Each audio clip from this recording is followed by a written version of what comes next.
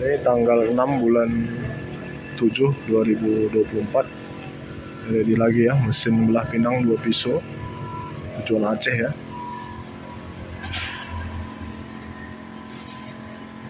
Dua mata pisau ya. Kapasitas pinang kering 200 kg per jam, pinang basah 400 kg per jam. Sudah ready. Pesanan satu set dengan pengupas pinang ya. Pengupas pinang ini. Pengupas pinang ini ya pinang kering ya. Juga dari dia. Tujuan Aceh. Jadi ada dua unit ya. Pengupas satu. Satu lagi. Sebelah ya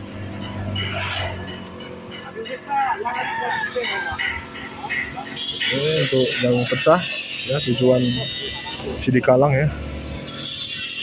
10 kilo per jam juga ya. Ada tiga unit ya.